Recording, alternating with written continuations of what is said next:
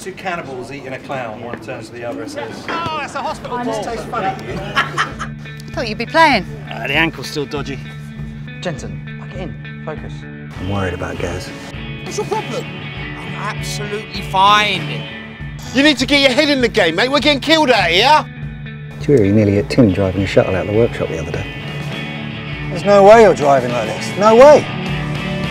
Seatbelt. Look, fine, fine. You're pissed as a fart. You're not fine. She ain't coming back. The offer stands.